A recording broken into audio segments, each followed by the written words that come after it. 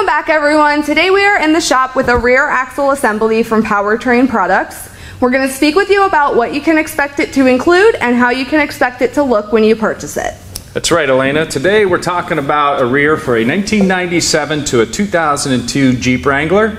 This one has the 411 gear ratio. This is an open rear. We also offer them with the limited slip option. This particular rear has the ABS rings already installed for those Jeeps with ABS. We also offer them for the Jeeps without ABS. Our rear differentials are media blasted to prevent rust and corrosion.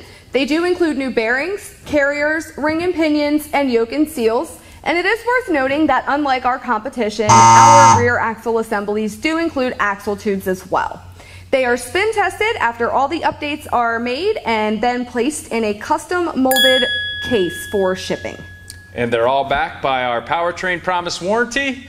Get yours today at 888 842 0023 and speak to one of our drivetrain geniuses. Don't forget to like, follow, or subscribe to our YouTube channel.